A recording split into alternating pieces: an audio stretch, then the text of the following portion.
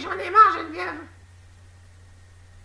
Qu'est-ce que t'as, Bibi? Tu veux-tu aller te promener avec ton vaisseau ou avec un CR500? Choisis! Mais un CR500, Geneviève?